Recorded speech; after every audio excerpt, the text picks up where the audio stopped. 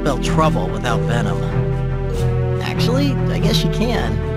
They do have two letters in common. When the city so nice they named it twice was suddenly overrun by a bazillion venom lookalikes, I knew I needed to track down Mr. Too Many Teeth just as soon as I could get away from those nasty balls of goo. It didn't make any sense. Since when was Venom able to make other symbiotes? Guy inside the Venom suit, Eddie Brock, he had some questions to answer.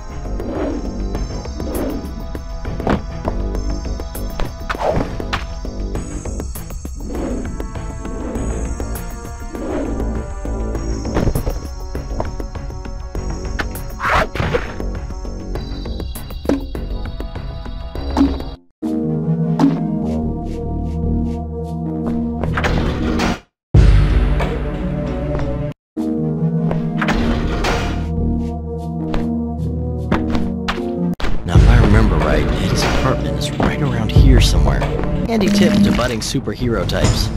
Always keep track of where your arch villains live.